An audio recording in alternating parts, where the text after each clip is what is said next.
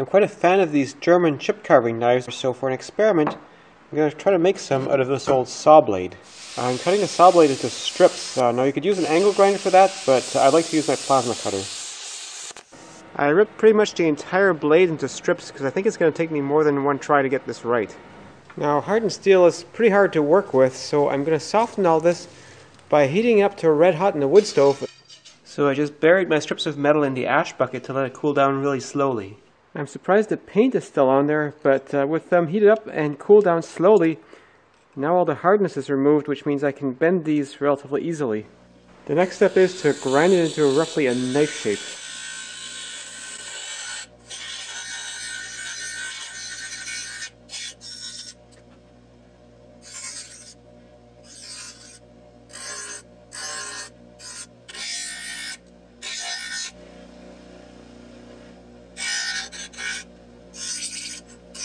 I started to wonder if it was really high carbon steel, so I did a quick spark test, and I'm pretty sure it is.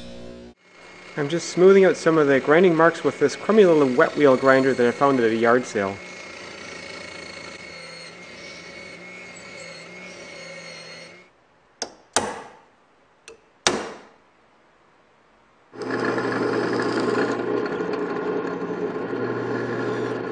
Now to get the hardness back, I need to heat it to a dull red hot and dip it in water to cool it down fast.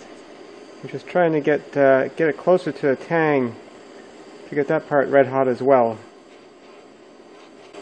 I think that's good enough. Now I also just hardened this test blade and that in theory might be so brittle that it'll break if I bend it. So let's try that out. No, well there it is. But it did take quite a bit of bending given that this thing wouldn't actually snap, I suspect this is actually not all that hard, so I'm not even going to try to temper it. I'm just going to polish it up now.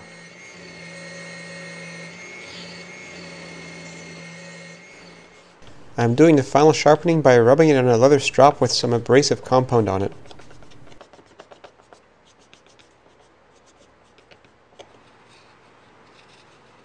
So I can shave with it, but the question is, how long will it hold that sharpness? Now the thickness of this thing is about a millimeter and a half, which corresponds to about the thickness of the kerf of this six and a half inch blade. I need to tweak the shape of that to precisely fit into that cut.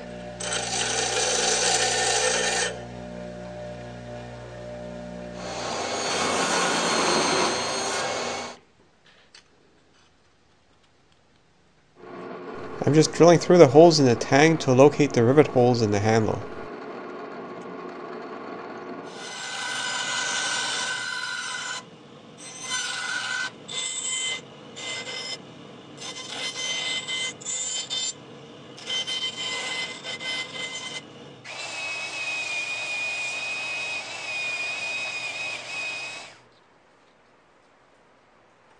My rivets are just nails that I softened by heating up and cooling them slowly.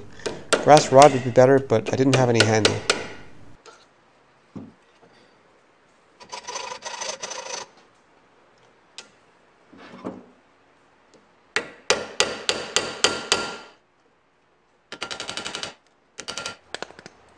So that's the original, and here's my copy. And it feels about the same.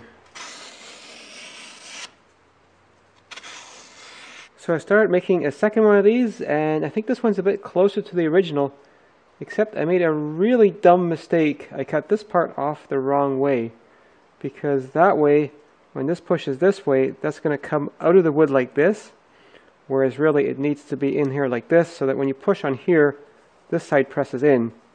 So uh, this one, unfortunately, is junk. I mostly use chip carving knives like this to round and chamfer edges of wood, especially in the corners. I don't have much use for swords or daggers, so I figure by making a chip carving knife I'll end up with something that I'll actually use.